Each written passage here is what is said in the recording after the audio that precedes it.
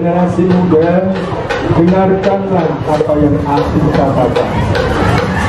Aku ini adalah musuh yang nyata. Bila kalian membuang sampah sembarangan tidak pada tempatnya, ingat, aku ini adalah penyebar penyakit. Penyebar penyakit di mana-mana. Waspadalah, waspadalah, aku musuh yang nyata. Ha, ha, ha, ha, ha, ha. Ayo,